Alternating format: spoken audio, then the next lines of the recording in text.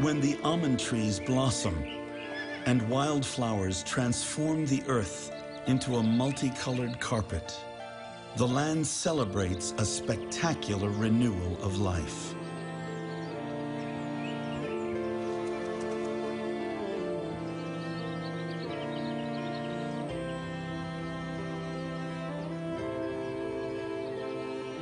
In these surroundings, it is easy to feel the deep love and trust that Yeshua had for the world his Father created.